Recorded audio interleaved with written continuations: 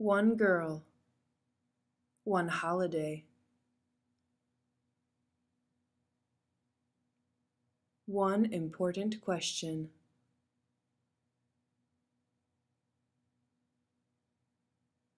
Turkey or duck?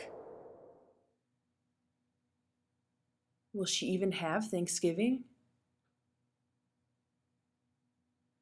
Join Tuyet as she picks Duck Day or Turkey Day.